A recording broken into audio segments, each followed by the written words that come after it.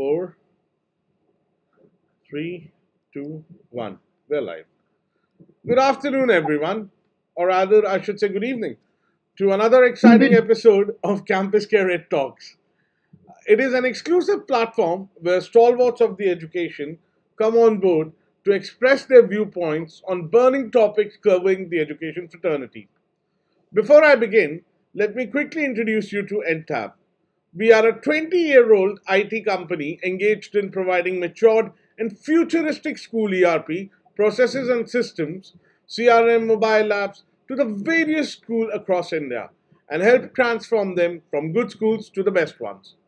Today in CampusCare EdTalks, we will indulge in a brief session with our guest speakers and learn about the flexible curriculum structure to create multiple exit points. And for students who are watching us right now, this question is for you. Have you ever walked into a classroom and wondered, when will I ever need to know this? I remember because back in uh, when I was learning algebra, I often wondered, where will I ever use this? This no- notion is often said by the schools to inculcate critical thinking, community awareness, problem solving skills.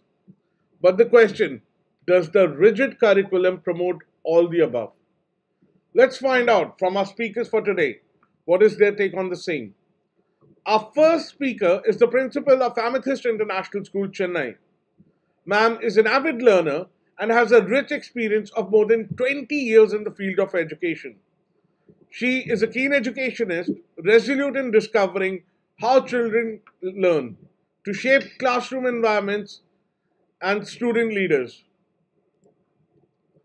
Ma'am has bagged several awards like Star Award from GISS Singapore for her outstanding contribution to school's growth and many others for her remarkable contribution.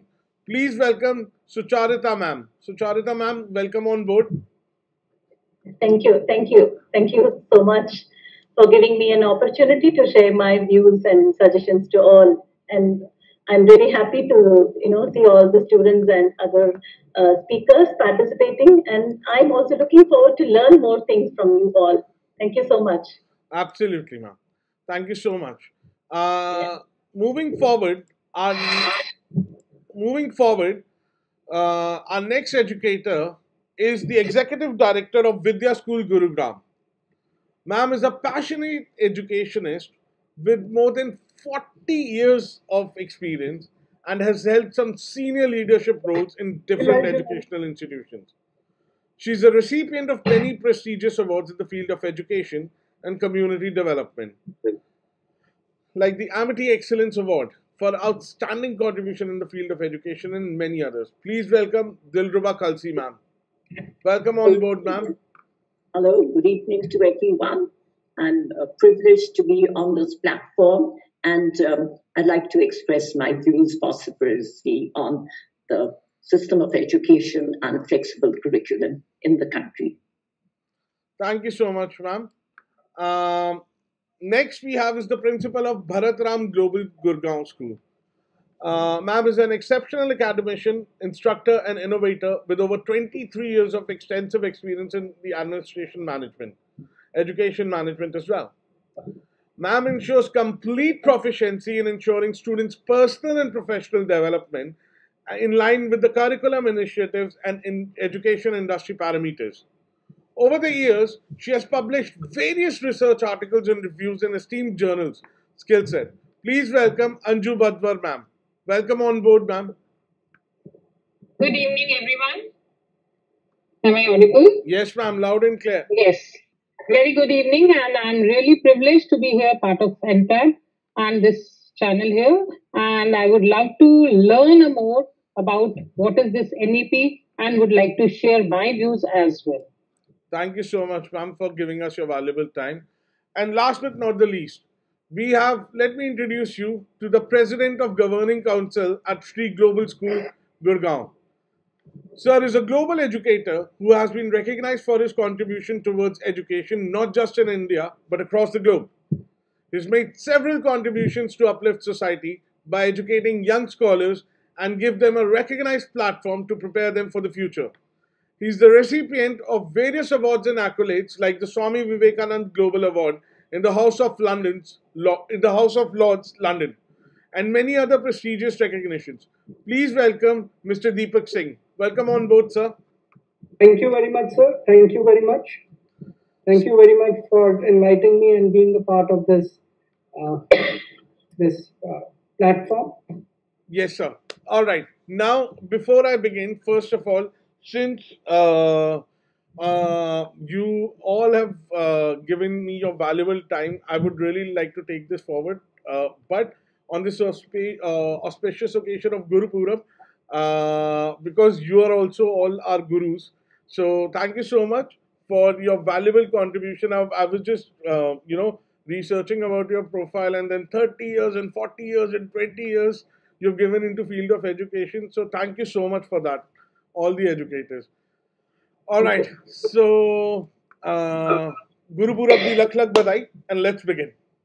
Uh, so, uh, Dilruba ma'am, my I would like to begin with you. Uh, that why is it imperative to have a flexible curriculum? I mean, अगर हम पीछे से भी देखे जाए, तो uh, we have always we never had a flexible curriculum, and uh, whether during whether uh, was it the intention our education policy was made earlier?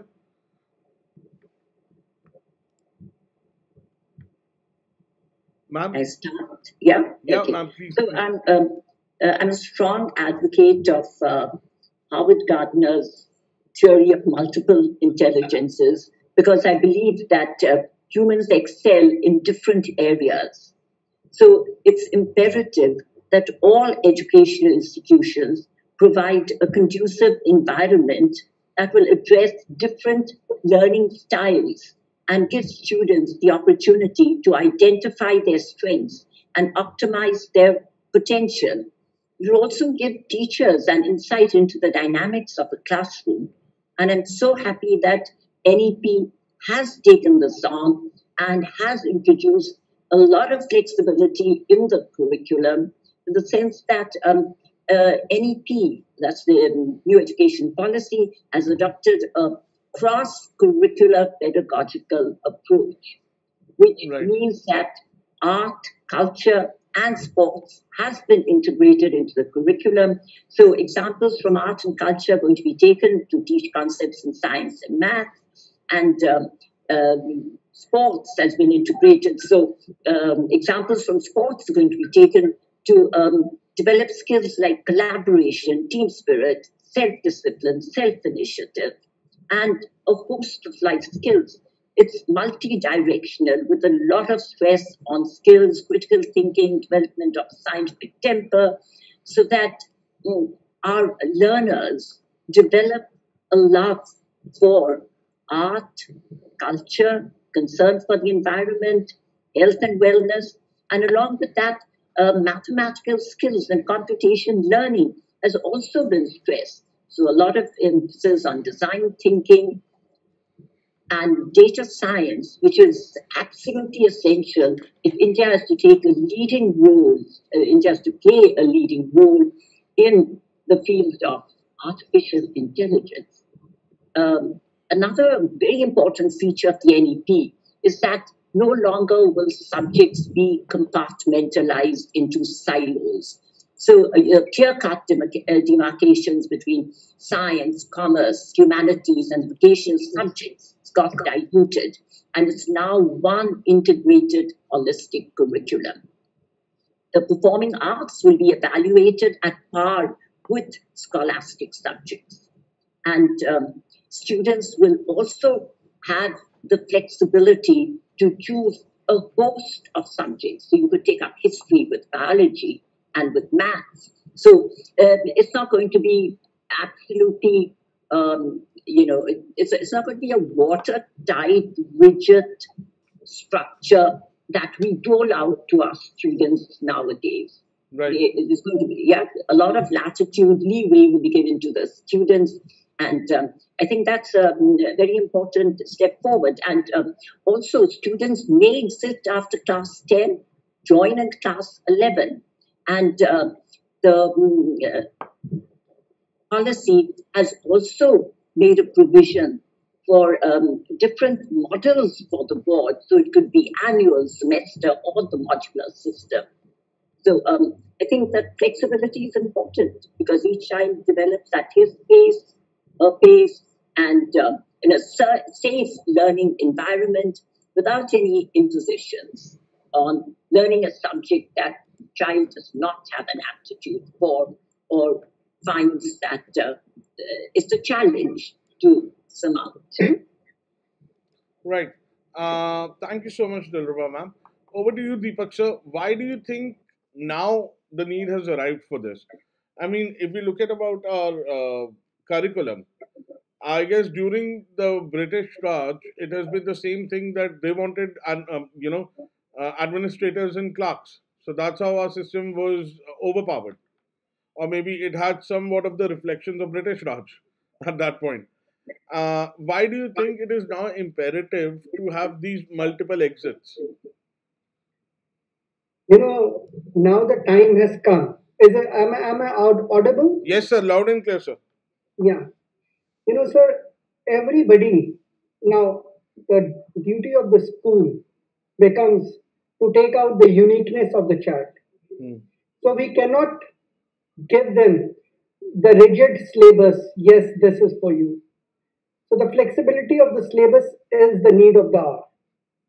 Because with that, they can reach to their maximum potential, which we were not able to give.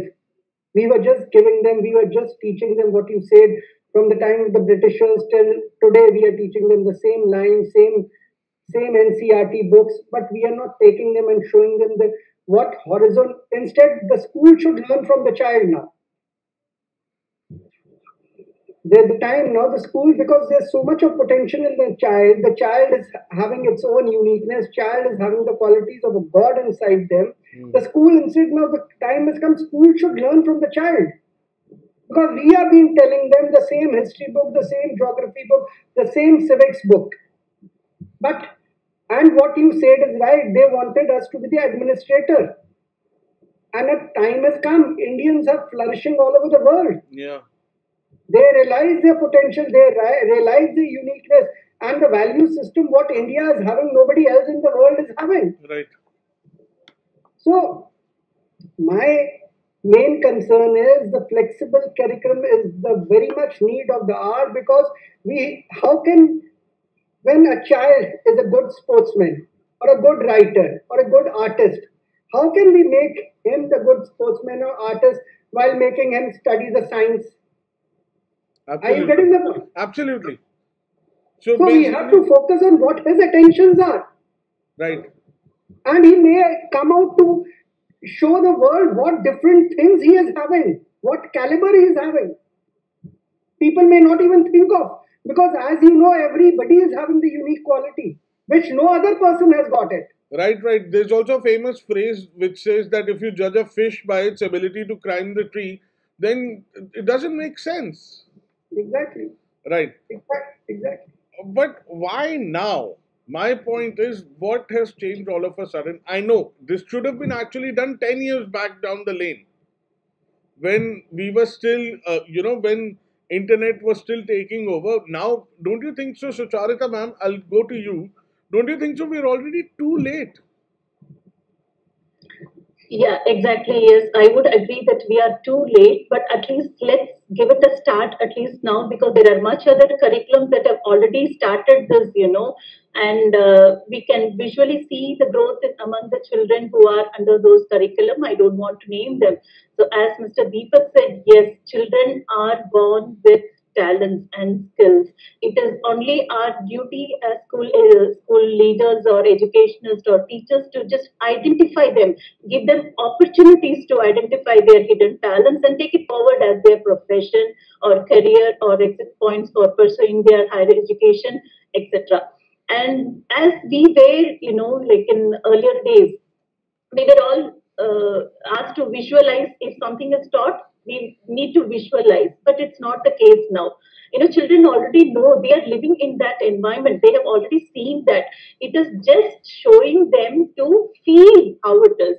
You know, they need to be given those opportunities or the learning experience that is experiential. They need to just experience it learn it and take it forward to the next level. So I think that is what we as facilitators have to do and the school leaders and educationists, that is what I believe. The skill development is to be concentrated more rather than academics. Academics, of course, is important. It is a part of their career, but developing their skills, honing their skills, you know, the critical thinking, that all, all every sort of thinking skills and other skills are equally important. Presentation skills, everything is important for a child to excel or you know focus on their successful career.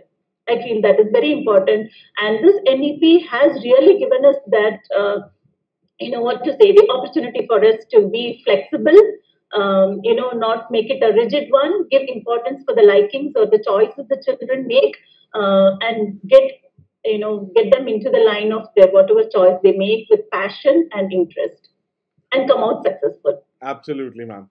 Yeah. Whole hold that thought for a minute because I'm going to actually end this in a circle. And um, because I've been having these webinars for a very, uh, since uh, two, three weeks, I've been taking these webinars, and I have so much insight to gain from every educator, to be honest. so I'll go to Anju ma'am. Anju ma'am, ma'am spoke about experiential learning, right? And nowadays, experiential learning, blended learning, kinesthetic for kinesthetic students and for uh, kinesthetic learning and all these things. They're very, uh, uh, these are the terms which are being thrown around very uh, repetitively these days. But before British Raj, right, I'm again, because since this is only the beginning of the webinar, I'm again going back to the same thing. We had a Gurukul system. In our Gurukuls, it was taught that eh, there was no, there were multiple exits and entry points as well and there was no chalkboard learning. It was all experiential learning. Correct? Yes. So yes. Are, are we adopting a new system or are we going back to the old systems? Yes, definitely old is good. Whatever our Indian system, our traditions, they have taught, taught us and we are the same. But yes, with the world coming to the, that level, we are just making us at par with the globalization, at par with the superpower. So that is what is the aim they have put up to make this education, to transform or make the reforms to make India as a global knowledge superpower. To, to reach to the world to of that standards we are coming up. But yes, from our roots, we cannot miss our roots and we have to follow up that what entry and exit points, yes, definitely they were there at that, those times as well. But now they will also be having a bank, a system of credit where a child can, you know, anytime go and get back to the same course or whatever different changes he would like to try over, he can just try that. So that is what our policy, this NEP is trying to give a liberty, a flexibility, a multidisciplinary approach. That is what we are welcoming it for. Absolutely. So, moving forward, um, that's why I love these webinars because there are so much to gain from. Each and everybody has a different point of view and somewhat of a similar view because we all know what NEP is capable of doing if it is correctly implemented, to be very honest. Yeah. So, uh, moving forward, Dilruba ma'am, advanced technology has to become a mandate these days in a school framework. Let's be honest. So, uh, in terms of adopting new education policy, what technological tools would you use uh, to, you know, so that it becomes uh, easily adaptable and relatable to a student? So, um, we've um, switched from in person classroom transactions at um, the Vidya School to um, virtual learning platforms during the pandemic. And I think um, the teachers took to online learning, teaching, you know, very uh, smoothly. The transition wasn't as checkered as we thought it would be. And it was also fairly well received by the students.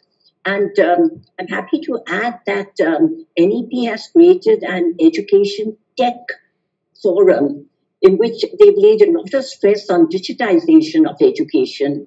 And um, they are now working on creating digital platforms upgrading digital infrastructure, capacity building, content, keeping in view the needs of the schools. And they're going to be also creating great digital learning platforms, which are going to be available to the schools. So um, that's the path forward. And at our school, what we've done is we've, um, in order to facilitate um, the incorporation of technology, we've got technology very well integrated into the curriculum. We have, um, for example, several laptops, right, um, connected to one internet. So, you know, they work all at the same time. Of course, there are uh, some power glitches, but um, we've also given laptops and mobile computing uh, devices to our students to facilitate learning. And um, I feel that um, irrespective of the school you're in, or the class you're in, or where you are, online learning has reached the rural areas also. I'm not trying to say it's 100%. Uh, there have been challenges, children have been without electronic devices, but at least we've made a beginning. And uh, the government's supporting this endeavor because it's digital India now. And uh, with all the digital uh, platforms, that's the path forward. We can't afford to ignore digitization in our education, uh, in our educational system. So um, that's what we've done. We've gone um, high on digital, um, uh, you know, educational uh, transactions. All right, Dilruba ma'am, uh, taking cue from that, uh, Deepak sir, was yes, yes, NEP yes. responsible for that very quickly, very crisply, uh, or was it because of the pandemic? See, see, my friend, uh, as you told me, कि भाई पुराने जमाने में हम जा रहे हैं there, and it is a fact. Yeah. And how it is a fact that earlier we used to use thumb, and because of education, we started using signature. And now, now again, we have, we have come back to thumb. So we have to come back to the things which has got values, which will make us.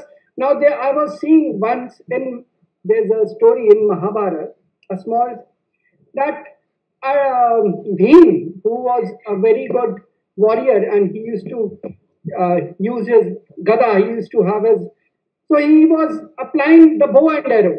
So he said, now you are talking about the exact policy, no? So the Krishna said, you use your thing which you were using, what are you doing with the bow and arrow? Yeah. So you have to see, now you have to, the same thing applies on us, where we think the child can do better a child has got more potential. There we have to focus and we have to appreciate the child. Yes, right. The, the child or my children, you can do this better than what you are doing. So the exit policy, what you're telling, I'm just giving you an example of the exit policy. That where the policy, where the child is doing or performing good, I think so that has to be encouraged. Because if you encourage that, the more things of that is going to come out of it. And whatever policy, whatever he's been doing, maybe he find more interest in the things which he wants to do. Up now, see one thing. Today, there's a problem that after graduating, people don't get job. True. You know, this this happens when they are not happy with their education. Sir, in fact, 98% uh, the, the CEO of Tech Mahindra also said that 98% engineers who are getting out of universities are unemployable. So that is what because they are not 98% is a huge number. So just just saying. So that is what I'm saying. That they are not happy with the education. They are just doing it for the doing it that they are doing education. Education should be fun. Right. Education should be fun. Education is the treasure the knowledge which you have and everybody wants to impart that everybody wants to know from you that is the knowledge mm-hmm. That is the knowledge and, and how this knowledge will come with the turn and twist. If you see a child is is knowing or is having interest in the other thing switch on the other thing. And we have to. So my main aim is that my main I'm just trying to tell you that education should be fun, not only taking their degrees and going for jobs and applying for jobs. When education will be fun, people will be after them that what you know, please let us know. Right, right, absolutely. Uh, but sir, what I wanted to discuss was, um, I multiple exit and entry points are there, but see, uh, ma'am said that technology has to be an integral part of it, right? But I wanted to know, is it because because what I've noticed is that during Corona time and during this pandemic, there has been a rapid acceptance of technology from the uh, school's point of view. And which was earlier was not there but however because everything went online now there is a rapid is it because of the new education policy as well or was it because of corona times and that everything had to go online? Deep, deepak sir are you there? Yeah see i'll tell you india is number one country in depression now india is coming is in the number one country in depression now, children were having only this option of interacting with people online. Mm. And if the people, because they could have, they could take their heart out. If a child is not allowed to meet their friends, not allowed to go to the school, not allowed to play, so what else right. a child and and the and some parents what they were doing, they were saying online education is not useful according to me, they do not know anything. Yeah, yeah. That's... Because in online education, at least the child was able to take out his heart out. He could talk to the teacher, he could see the friends, he could have some uh, expression in his face. Why India is coming up, this is again, I'm telling you, India is number one country because many parents said the online education is not of use. Because of this, so many children are facing this problem of depression. And the people and the children, those who were online and those who were interacting, they are still better.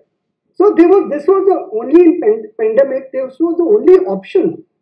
And with this option, so many things now the children know much more things in computer what what elder people do not know. So the technology has played a very important role. And when with, when this pandemic was there and still going on, the children, those the parents, the children learns from the parent.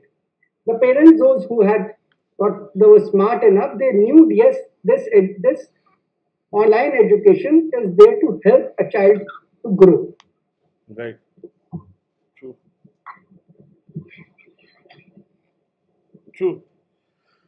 Uh, so, Charita ma'am, so, online learning is there for a child to grow. That's absolutely true by Deepak sir. Uh, so, if we have to talk about online learning, because earlier schools and educators, and in fact, as a parents as well, we used to tell our kids or maybe you know students that you know don't spend too much of screen time. Yeah. Don't spend too much time. But then that's why because Deepak sir, if we talk about it, then it also conflicts a student. कि पहले तो मुझे मना करते थे आप लोग Now भाई अब को, अब कोई राय नहीं ना अब आप क्लास में नहीं जा सकते क्लास में नहीं see the learning education should not stop na right if you if you not tell the child to do something उसको सपना तो आएगा नहीं क्या करना है right so you have to give the direction to the child like you are giving direction to the computer you have to give direction to the child yes you will learn something from online from your teachers Right.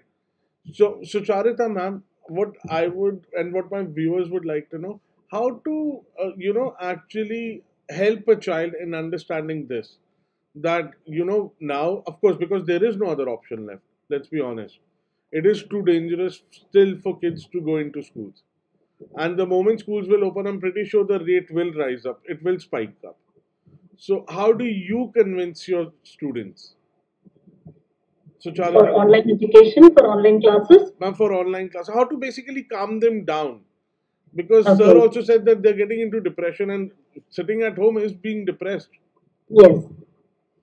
I yeah, it's actually a very uh, uh, nice topic, and uh, what Mr. Deepak said is absolutely I do agree with that because children, rather than parents stopping the children from not attending the online classes, it's actually children when they attend online classes, they are really doing well. At least the learning, if it's not happening, they are listening to what teachers are telling. They are looking at their friends. So the mental growth or the mental stability is much better when compared to children who are just sitting at home without any facility. But I would say, like uh, in my experience in our school, uh, it's only the parents who don't send their child to uh, online classes is very minimal. I think most of the parents have understood. Maybe in the initial few months they were, you know, waiting for the school to open, but now they have thought that it is left with no choice. We cannot keep a child for more than uh, six or eight months at home just like that without even sending out. So many parents have come up to the conclusion and putting them for online classes. But there are some who are not having the internet facility. I think the digital uh, technology you know, plays a major role. Again, children are not having that facility so maybe the school can take, the, you know, an opportunity. And what I would suggest is online classes rather than being only academics. You know, if we give them a chance for doing hands-on activity or showing them or making a little more interactive and participative or engaging them, you know, it would be really fun. And uh, children will not have that much of uh, pressure, you know, when they attend the online classes. So the interest also would be built up in, among the children that would have been added. So I see if I, you know, one period I have dance, one period I have karate, something which the child can even jump and do. And next period, if you see the child's uh, uh, distraction is very less, they try to contribute more to the uh, teacher's, you know, uh, teaching or other learning process which is happening in the class. So that would be a better way of approach if at all online classes are to be continued. Um, absolutely, Anju ma'am. I am coming to you. And to be very honest, ma'am, uh, Sucharitha ma'am, I think so online classes will continue uh, since Dilruba ma'am is from Gurugram and uh, uh, uh, Deepak sir is also there. So we know when pollution hits, the schools mm-hmm. get closed. Yeah. so naturally, this uh, kids won't have any option now. When the pollution hits, the classes will go online. That I'm definitely about. So Anju, yeah. ma'am, what are your viewpoints about the same? Yes, I believe in online classes definitely because here the child gets to not only learning to know, it is learning to do as well. So it is both ways, the teacher and the student both are putting the efforts. As we ask the children to also do research or make PPT or do some presentation or share presentation, it is both ways, it is not one way interaction which is going on in online mode. Whereas in classrooms, many times it may be one, one, you know, one time, one side only. The teacher is interacting and speaking and giving lectures. But here online, both are equally putting their efforts, and so that teaching learning process is healthier. And our children wait for their classes. As ma'am said, we are also putting equal, you know, amount of time for dance or music class or activity class or any such thing where the child enjoys more. Yeah. So that is what how we have to balance the child's activity then. And this way it balances his mental stability as well. Right. Yes. Uh, I'm pretty sure because uh, these conversations uh, actually made me understand that during the beginning there was a lot of uh, hesitation towards adopting the technology, and quite frankly, the biggest factor that was there was training the teachers uh, as a head of the leader, as a, as a leader of the school, I'm sure you were all familiarized, but certain teachers, they don't know how to use Zoom calls or maybe uh, Microsoft Teams and everything. Kalsi ma'am, how did you take care of this? Because did your students did your students become the trainers? Because that has also happened yes, in many. That happens because um, I find our children are very tech savvy and um, definitely um, some of them uh, are better adept at technology than what our teachers were. But our teachers fell into the groove pretty fast. You know, workshops were conducted. We had um, online training sessions. And um, because, uh, taking off from what the other speakers said, there was no choice. We did not have an alternative. So we were pushed into the digital space. But we tried to make it as wide encompassing as we could.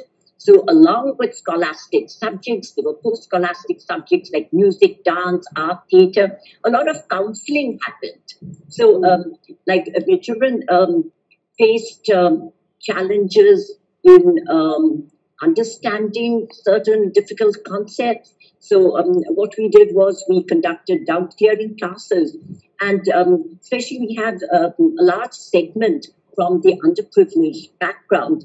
So our classes were customized to meet the needs of the students. The classes were held sometimes late in the evening when their parents got back because there was just one electronic device at home, so uh, they did not have access to um, mobile phones. So when their parents got back, then they could get on to these online classes. So what we did was we broke up uh, the class into smaller groups.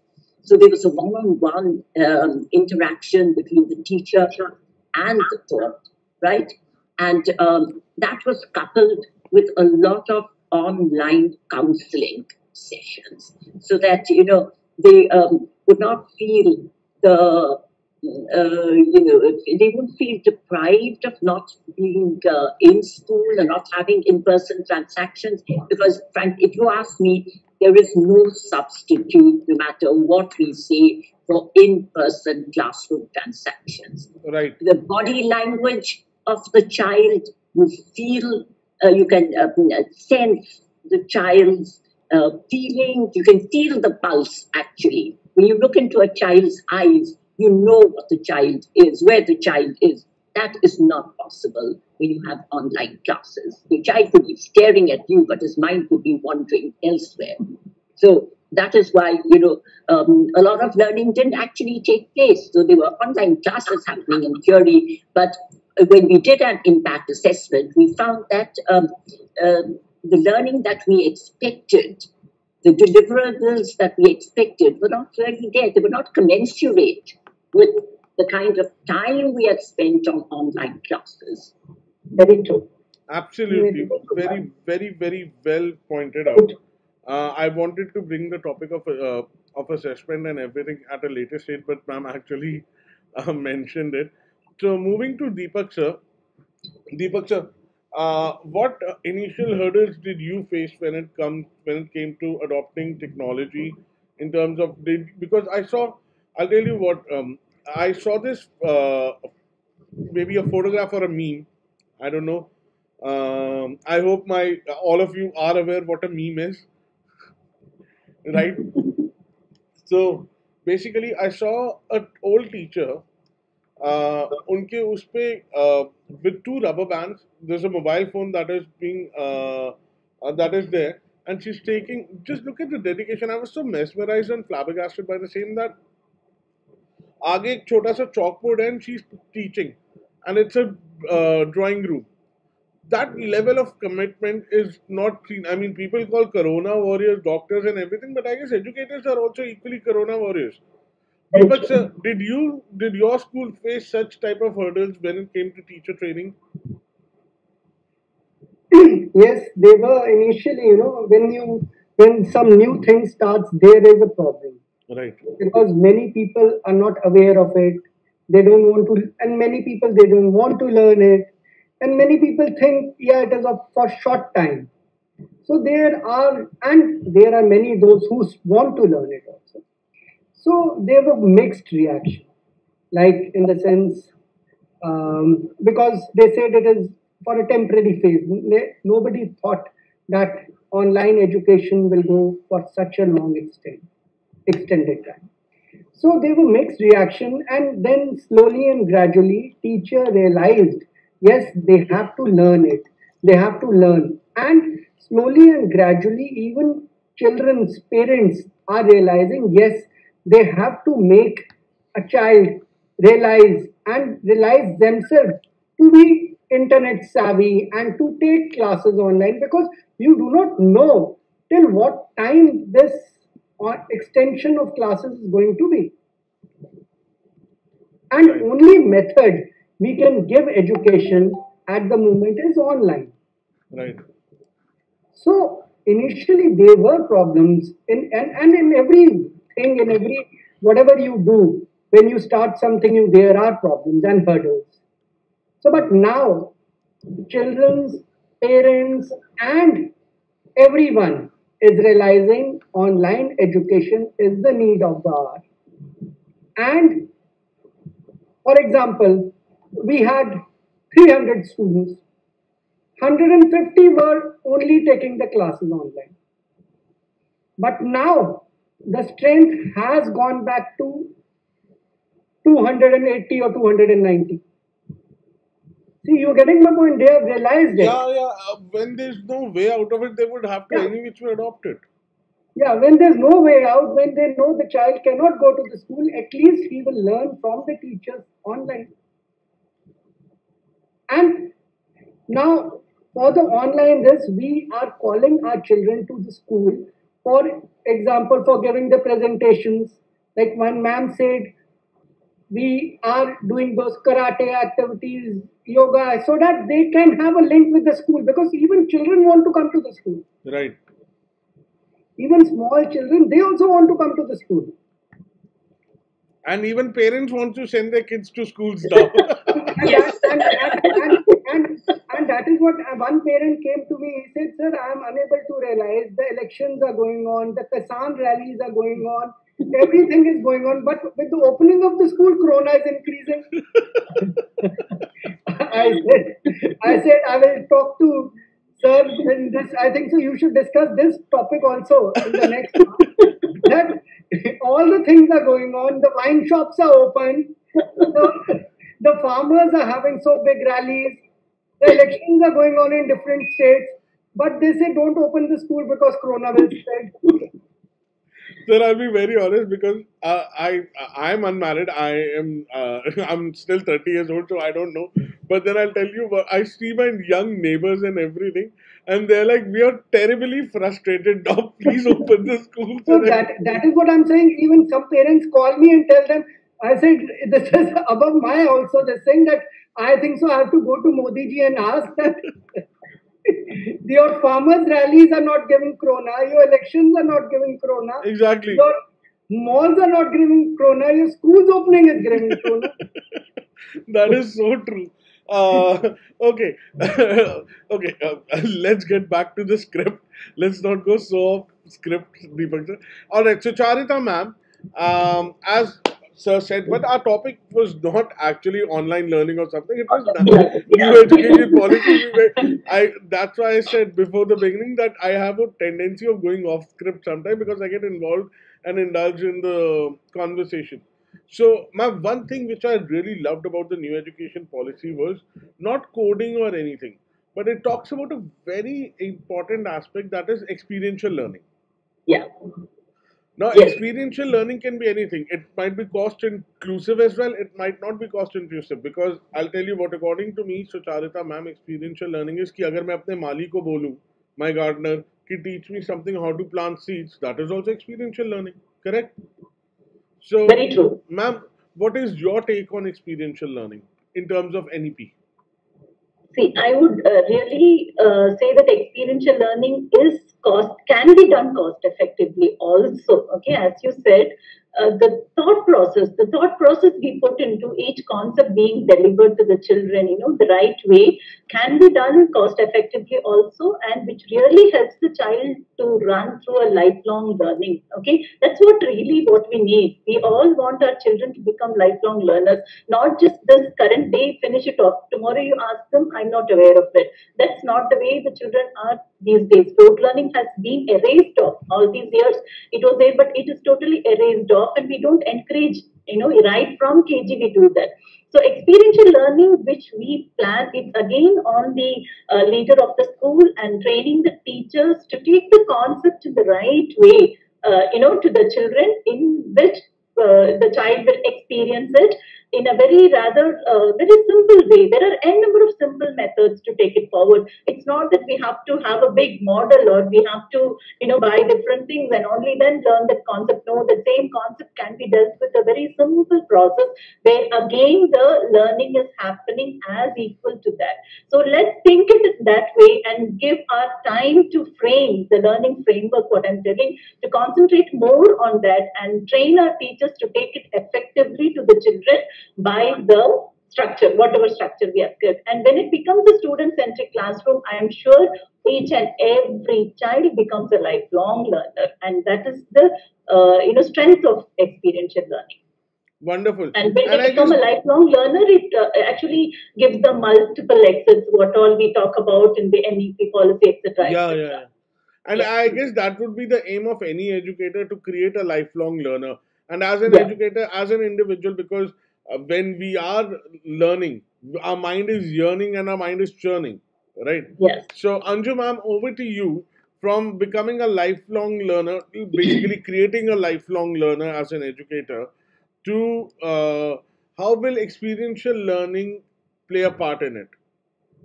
How, because there, for example, fine, uh, let's say there are certain classes which I can inculcate, or maybe I entrust technology by augmented reality or virtual reality. Because that is also sort of experiential learning right? Uh, but then again uh, how will this actually improve apart from kinesthetic students? Because I'm, there are also auditory and visual students. So how yes. will that practically improve the quality of uh, education when it comes to experiential learning? See experiential learning is to me the experience one gains. So, as I said, it's not learning to know, it is learning to do. That is what we focus on these days. So, each child should get a hand on experience to go. Suppose we are teaching them something about maybe uh, to grow a seed from a seed, some plant, or to take them to the you know kitchen garden to give them an exposure or experience to observe, to analyze, to experiment. These are the terms problem solving. So that is what how the teaching teaching approach has to be, and teaching learning lessons have to be framed, lesson plans have to be made, so that each child get that exposure. Rather, the teacher explaining, giving the lectures and that handouts or whatever. But here, what we do is to give them, you know, learning by doing. They just right. do it, they perform it, they take it, and they experience it, and they learn it, and it, they imbibe it. That is how the learning should go on. Yeah, there's a very famous quote by Benjamin Franklin where it's uh, where it's like involve me and I learn.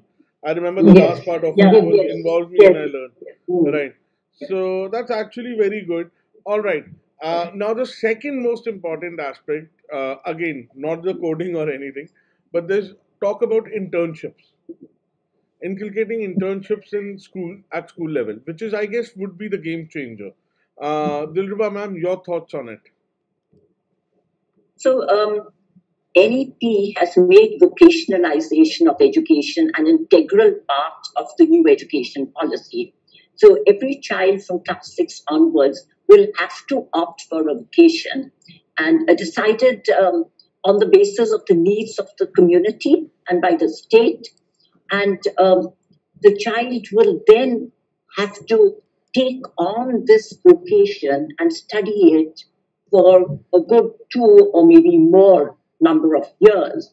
And why this emphasis on vocational education and skill building? Because during their, during this um, phase of um, incorporating vocational education, uh, the child will have to do an internship.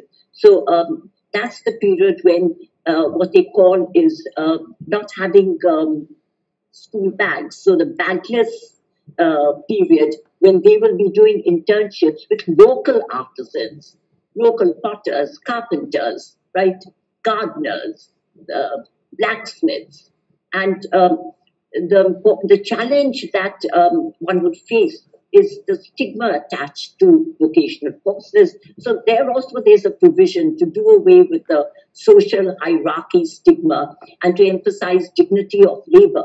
So um, vocational education now becomes an integral part of the entire school curriculum and every child will have to adopt it. And the reason being is that uh, when they looked at the five-year plan for 2012-17, they found only 5% of India's students adopt, uh, adopt vocational education, whereas in the US it's about 52%. Why is that? Because there is no clear path chalked out for pursuing the vocation that you have opted for later on once you graduate from school. So that again has been addressed so that uh, whatever vocation you opt for, like, you know, if you can get back to the Kothari Commission, class 10 was supposed to be a terminal stage and only those uh, were um, academically inclined went in for higher education. But it's not going to be so now.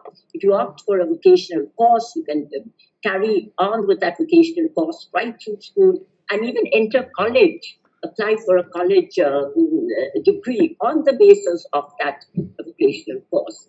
And um, we also have a commission, the National Commission for the Integration of Vocational Education, that's been created by MHRD to ensure mm-hmm. that vocationalization of education becomes a reality and doesn't fall by the wayside. Right. And that's all part. I just want to add one more point. Uh, point. That's what the skill building. Why? Because I'm, I'm, going back to something you had said earlier. The question you had put to the panelists that why was um, you know skill building and NEP introduced at this point in time? It's because India now has a demographic dividend, which India did not have so many years ago, and we need to provide our youth between the ages of 18 and 35 skills. Otherwise, we are adding to the body of disgruntled youth right. who will take to antisocial activities right. and increase the law and order problems. So that is the reason that the government has set up the skill center, and there's so much emphasis on skilling, uh, not only by the government, and um, of course NEP has incorporated that very well. So um, to meet uh, the needs of the country and 21st century um, skills and requirements of the country. Otherwise, our education system just falls by the wayside if it is not in sync with the requirements of 21st century India. All right. So that's actually good. Uh, Deepak sir, uh, when we talk about um, internships, right? And let's talk about internship for schools. Will I be will I feel safe as a parent that I'll let my kid go to or maybe some other stranger is coming. How successful do you think the idea of internship can practically take place in schools? Internship?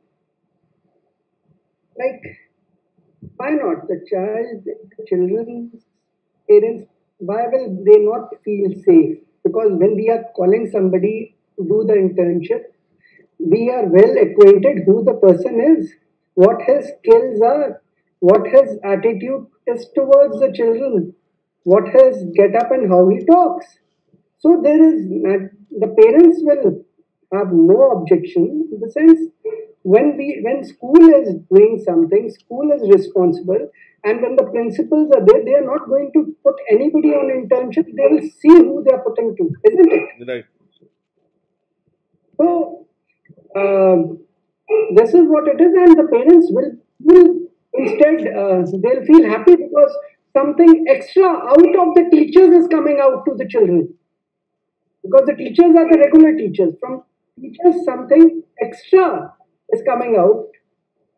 So they will be happy i suppose. Okay. Uh, they would be happy.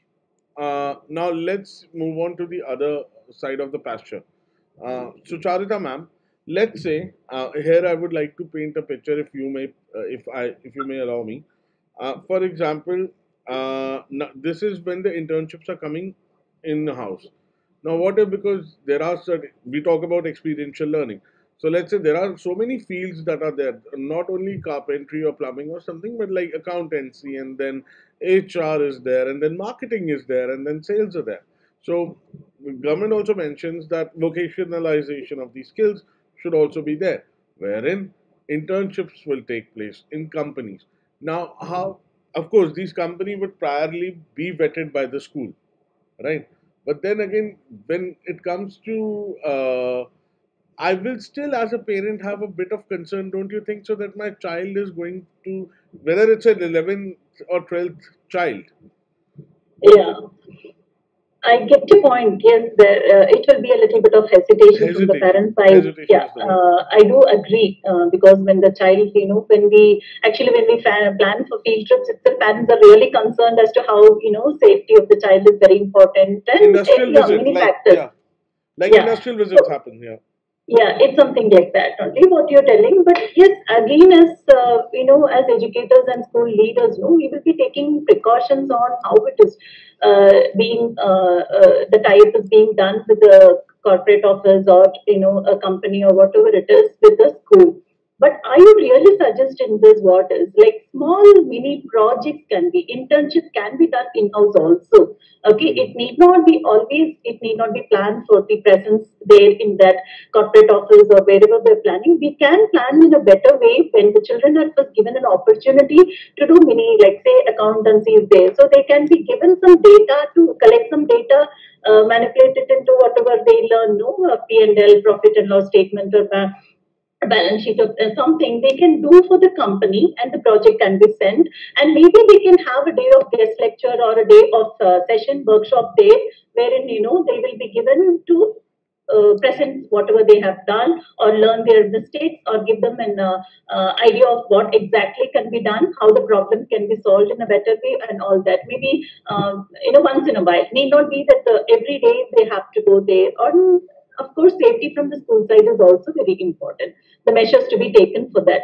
But we can, uh, you know, involve projects from other places. Say if it's an IT firm, they can give a problem or you know a coding or something, whatever to be done. The child can uh, can be taken in the school itself.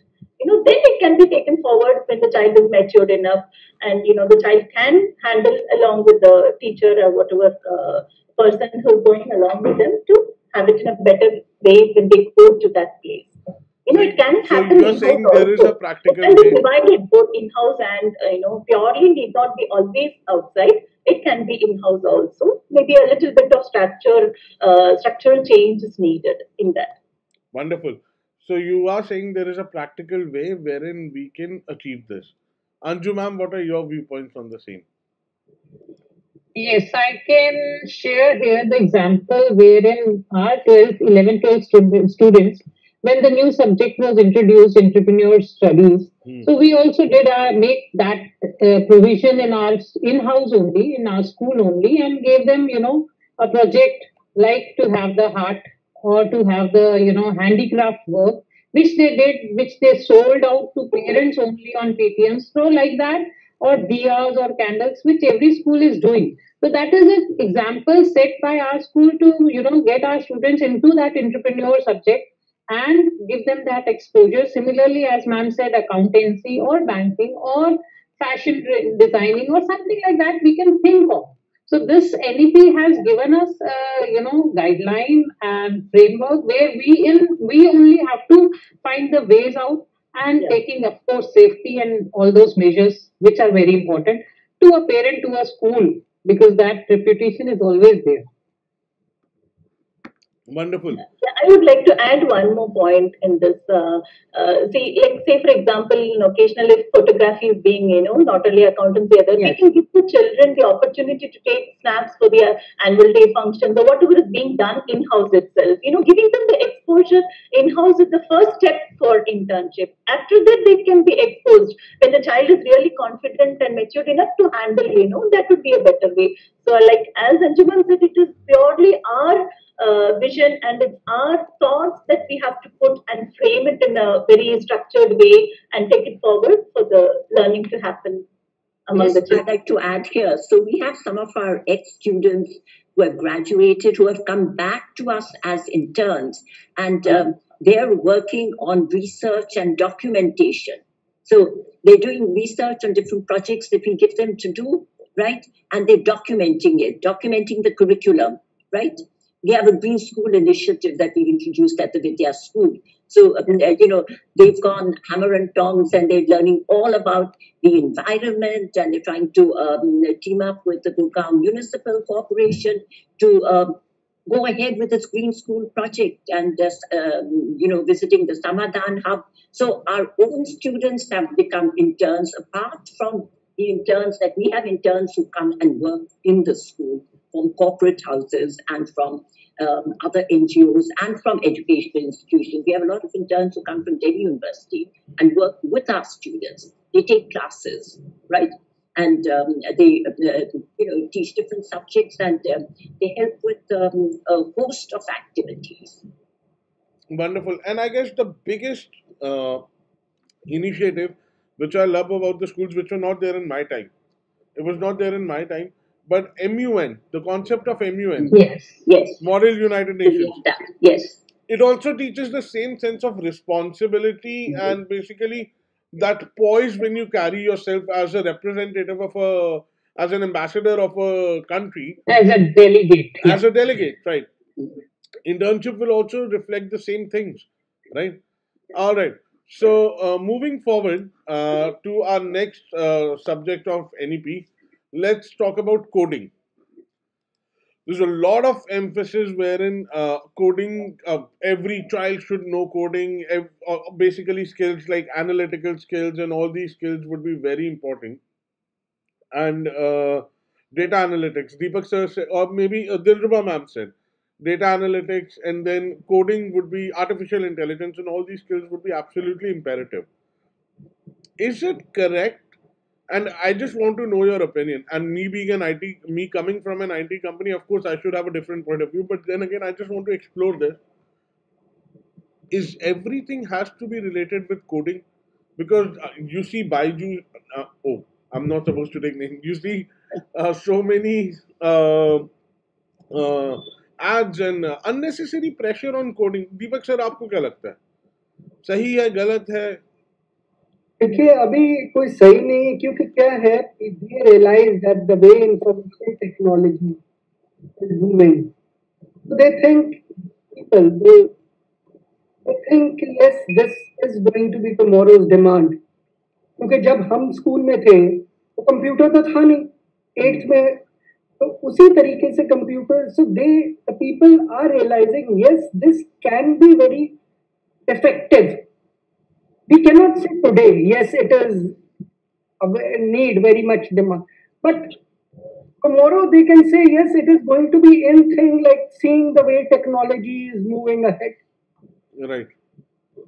So, so they can say, yes, it will be of demand because artificial intelligence, you know, things are coming up and the way the technology is moving, you not know so much advanced it can be. People are just only thinking. Basically, and riding the wave. Huh, and what we are thinking, they may come up with different things. Then we're going to say, yeah, it, it was a very great thing. right, right, right, right. Absolutely right, sir. But I guess iske saath saath, there's also one more thing. One more uh, because I keep on, uh, I'm into marketing, so I keep on researching about all these stuff. Uh, video making is also going to be very huge. I just read somewhere that uh, YouTube has actually become the uh, largest uh, search engine, the biggest search engine in the world now. Apart from Google, to chhod do. Google second ho gaya. Even though it is owned by the same company, but then again, YouTube has become the biggest search engine. That is actually very commendable. So, Sucharitha ma'am, do you think uh, so much emphasis on coding at this point of time is correct? Or it's just a way which will which will eventually we'll see where it lands? Sucharitha ma'am? Hello? I think so she's she's paused on pause. Yeah i guess um okay. Some might be some network issue well अगर coder होता तो शायद fix हो जाता अभी तक Anju ma'am what about you Sir, to be very frank, I myself feel very much, you know, belittled when I say I don't know coding or I am not part of coding. I am an arts person, humanities person. So here, of course, curriculum needs to be reworked and definitely we have to see wherein all these things can be incorporated in all these subjects and fields and that, that is where i'm also hoping to learn something because this online platforms as you are saying youtube or zoom or you know all these links microsoft teams and all these things where we were knowing we were not part of it but eventually when it has come time has come and we have all learned to be no ma'am no ma'am anju ma'am no no no no no i'll tell you what ये ये एक चीज गलत है Skype Skype होता था याद है स्काइप होता था बिल्कुल this was actually Skype ball game this was yes. this was Skype dropped the ball right down. I, I'm I feel very bad for Skype company. It was Skype's ball game, and Zoom पता नहीं कहाँ से आ गया अचानक से कहाँ से आ गया और yes that is how the time changes and the which company is going to like YouTube you are saying. So definitely now every event, every topic, every competition we come we get through is YouTube links. That is how we use our YouTube channel as well or any channel. so right, ma'am. Time changes. So Charita, ma'am, what about you? Because you got disconnected in between. I went. Yeah, I just had some network problems. Sorry, but I could join back again. Uh, see, when it comes to, uh, is the topic still on coding? Yes, yes, uh, ma'am. We're still yeah, there. okay, okay, okay, great. Uh, yeah, I think in this I'm a little bit different, and I would prefer the children given the exposure of coding maybe a little later, like when they are in the ninth standard, because when yeah. they are young, it is too much for them to understand the reality. They think everything is fantasy and just do this and you get it, and life becomes very easy for them you know they think that is the way it goes and the big uh, uh, advertisements coming and forcing you know the children are more into uh, the other part of it. They they just see the outside part. They don't get exposed to the behind scene no behind the scene. So i think children need to first go with the learning experience and do everything. And by the time they're mature enough and they really have a passion for coding and you know uh, doing up all applications or software or anything, uh, that should be the right time to give them. So, like how uh, uh, Dilruba, ma'am was telling, no, occasional courses are being exposed to them. Uh, so that can be a coding also can be a course which can be exposed at the right time when they are matured enough. Okay. Uh, but right, they say uh, at the age of five, at the age of six, they, you know, that's actually not advisable. Okay, uh, ma'am. Okay. Actually, uh, not function properly. That's what I, as an educationist, feel. Right. I absolutely concur with you. Dilruba, ma'am, yeah. I know, I know you want to add on a uh, point. Yes, I want to ma'am, add just, to this. Ma'am, just a minute. Because, ma'am, yeah. just a minute, just a minute. Even I realized something Ma'am, fine, everything is fine. But I'm talking about the Indian mindset that we have. The Indian, uh, अगर मेरे सामने, for example, uh, we have kids 13 year old who are developing apps and they're becoming millionaires, then I'm talking about your challenge uh. as an educator because I know for a fact parents will come to you कि मेरे बच्चे को Steve Jobs बनाओ. Mm. How will you tackle that? If parents are, uh, I don't know, but I have seen more parents who, uh, and these are very costly also, no? Like when it comes to that coding and other things, you know, I don't think parents are that very uh, comfortable in putting up. But as you said, if the child is really interested and at the age of 13, the child is able to do wonders, probably the parents can go in for it and school can give an option, but I wouldn't make it as mandatory because uh, that wouldn't uh, then also the child, be, uh, know, it negates the entire process of having multiple exits and yes, Dilruba yes. ma'am, over to you very quickly. Yeah. So I have two points. Number one, coding has been mandated by NEP as yes. an, um, an integral part of the curriculum. So how do you offset that? All schools will have to adopt coding as a subject from class six mm. onwards. We that's don't have saying. a choice. That's what it is mandated.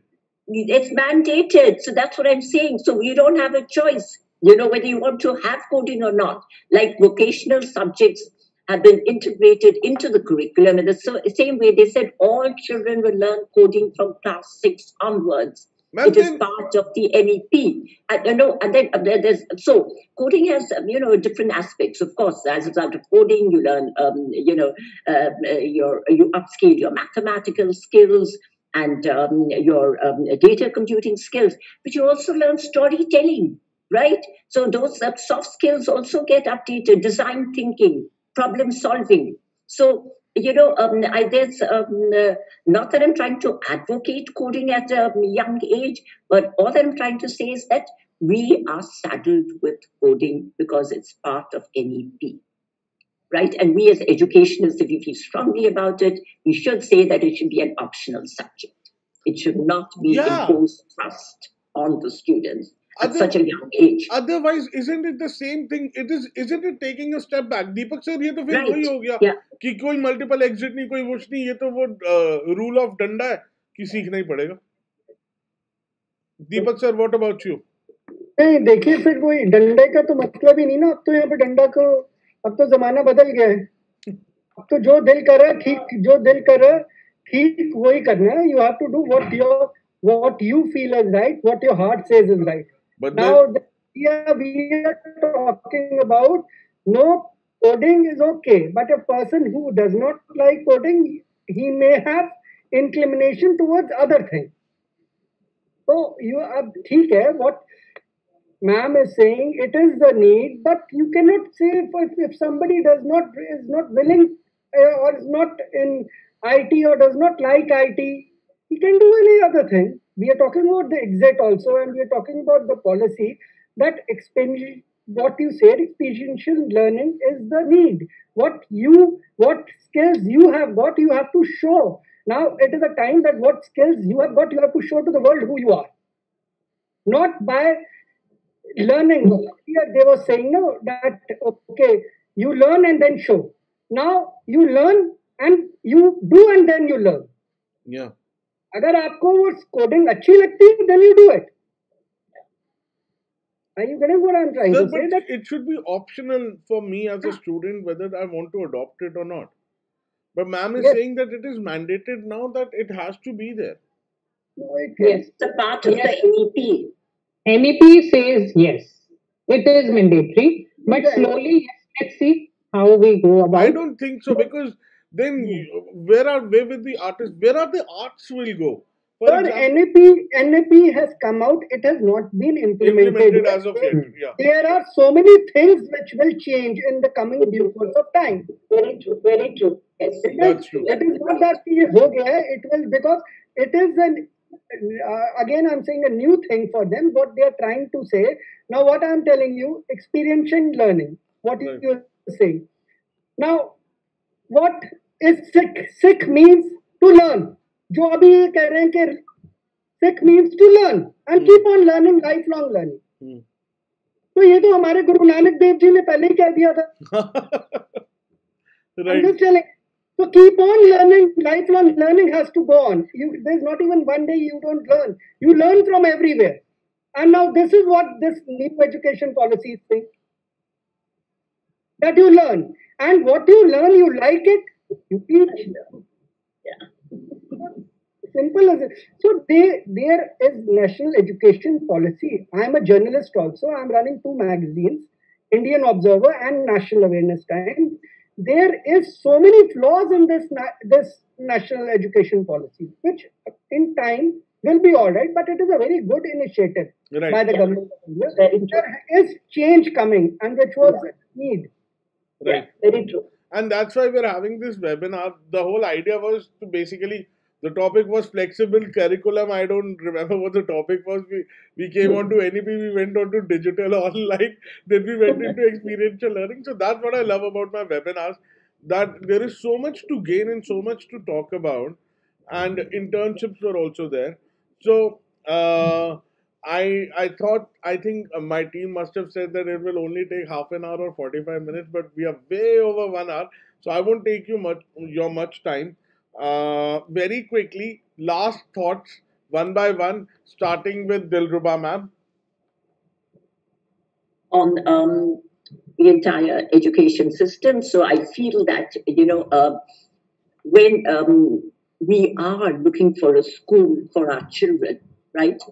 Uh, we need to uh, study the prospectus of the school and see what is the vision, what is the mission statement, and see whether it's what um, we want our children to grow and develop as uh, in this fast evolving global uh, world.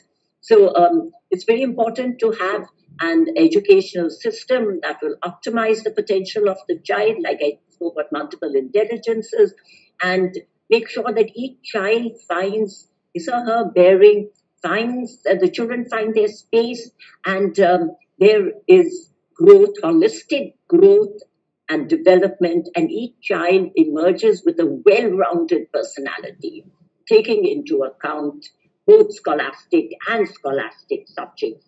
And learning is joyful. And learning by doing, right? Uh, learning which is hands on, and learning which makes you a productive member of a fast evolving global society. Okay, wonderful words, ma'am. Deepak, sir, over to you. Last words. What I would like to say, sir, um, India is going to be knowledge superpower very soon. Absolutely, that's true. And we educators are there to help these children grow and become one. The one like Swami Vivekananda, the one like no, the countless of words. Like, but like all you see, there's been superpower factory from India. Yeah. So with this education policy, we are going to come up with more people, those who are going to contribute towards the global peace and uh, prosperity. And what I would like to say is that this webinar was an excellent platform where I could hear the comments of all the principals, Dilrubaji, Anjuji, Venkatesan, Venkatesan man, and you, sir. Thank you very much for inviting me and would like to be your uh, part of your platform whenever you want uh, to be there. Wonderful, sir. Wonderful. Thank you so much for your words. Uh, before I let you all leave, I have Sucharitha ma'am left and then Anju ma'am left as well. Uh, yeah. Sucharitha ma'am. Yeah. Uh, so as it was a very nice opportunity again, uh, like to share uh, so many topics. As you said, no, it was not focused to one. Yeah. It was actually a very wide thing, and really enjoyed uh, sharing my views and you know getting to know others' suggestions and very nice. And as per NEP, vocational and academics uh, doesn't have any hard separation. They are going to work hand in hand. And I think it is going to be, it's just a draft only. Probably the experiences what we share should give a fine tune to it. And, you know, it is going to reach all of us in a better way. And it's going to really bring out all children as a lifelong uh, learner and a global learner. I really wanted to mention that when Anju ma'am said that India has to become globally, you know, uh, uh I actually, wanted to, I, I, actually wanted to discuss the topic of global collaboration as well, but then yeah. we are already at the last. Yeah, anyway, but anyway, we had touched that, so I was just wondering that's a really very nice thought, and our vision should go now to that level. Right. You know, just right. not within India, it should be globally. So we should prepare our children to meet the global standards, and that is how this uh, NEP's policy is also going to help us as educators and uh, come up with very uh, beautiful uh, opportunities and uh, you know platform being delivered to the children to take better choices. Once again, thanks for putting me into this webinar and uh, very nice. I had really a very nice uh, experience and learning happening here. Thank you. Thank you so much. Thank you so much, Sucharitha ma'am. Anju ma'am, over to you. Yes. To conclude, I would say NEP is National Education Policy or a passport to the future for tomorrow to be the global learners at par with the world. So our students, we want to be rising and shining all across the world. So Jai Hind and Jai you, everyone. yes. So that is all. Guru Purab is there. Happy Guru Purab. Enjoy. Let's Happy Guru Purab, ma'am. Happy Guru Purab, Deepak sir. Happy Guru Purab, Sucharitha ma'am. Happy, Happy Guru Purab. Thank you. Same to you. Yeah. Waheguru Ji da Khalsa, Waheguru Ji di Fateh. Thank you so much everyone for giving me your valuable time. Uh, बहुत ज्यादा मैंने कुछ ज्यादा ही लंबा कर दिया था but thank you so much it was a very beautiful session and as usual I had so much to learn Thank you. Thank you. Thank you, everybody. Have a nice day. Thank you.